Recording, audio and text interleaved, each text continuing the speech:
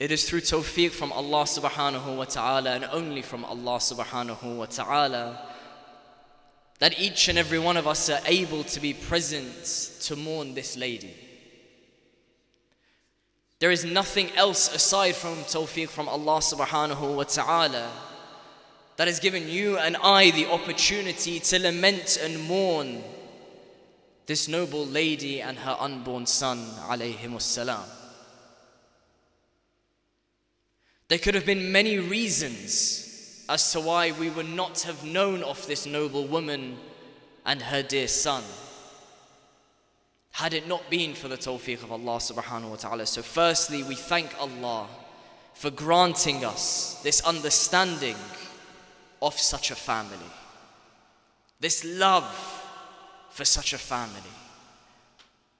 But ultimately, we pray to Allah subhanahu wa ta'ala to increase our ma'rifah, our understanding and cognizance of this family. Because it's through understanding them and only through them can we truly reach proximity to Allah subhanahu wa ta'ala and therefore increase our ma'rifah of Allah. And for sure, anyone in this life who has true cognizance of Allah subhanahu wa ta'ala is able to succeed in this world. It's no surprise that Amir al Mu'mineen goes to say that by the Lord of the Kaaba I am successful, and it was Amir al Mu'mineen who had true ma'rifah of Allah subhanahu wa ta'ala. Tonight you've made a decision to leave whatever it is at home, to leave whatever TV program it was at home, to leave whatever ease of the sofa it was at home, to be a little bit more uncomfortable, solely for a reason that each of us need to truly identify.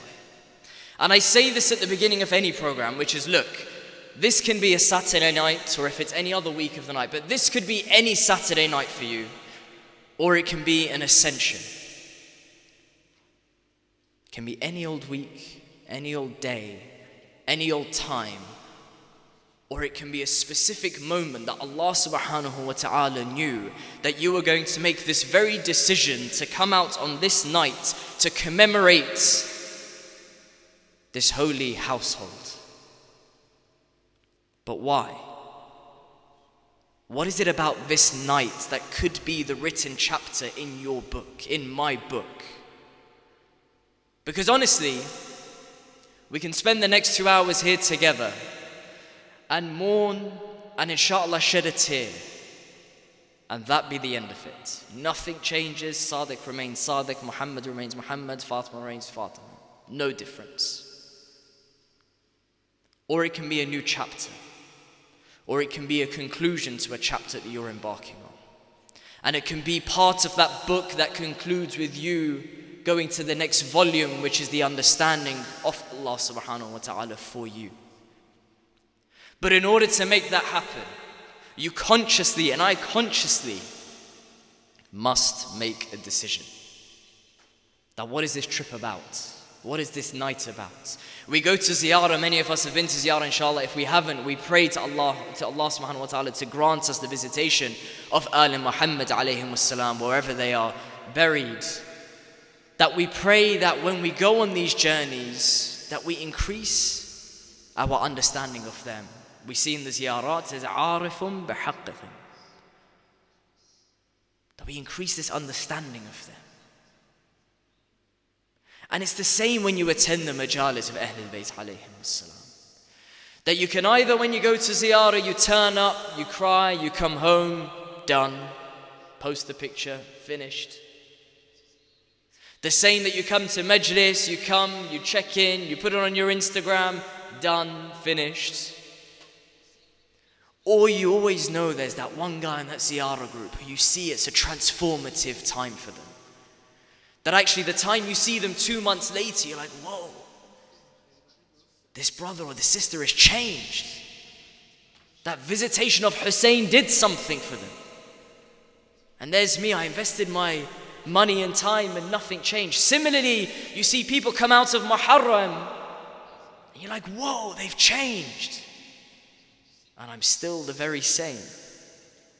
And Fatimiyya and Muhsiniyya really comes at a time where perhaps the energy level of Muharram and Arba'een has started to dissipate a bit. And subhanAllah, we have three narrations to elongate this understanding of Fatima Zahra and her family.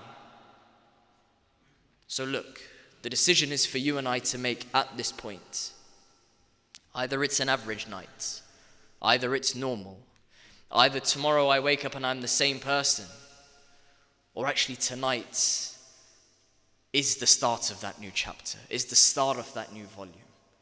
It doesn't matter how loud it is, it doesn't matter how quiet it is, it doesn't matter how busy it is, it doesn't matter how cramped you are.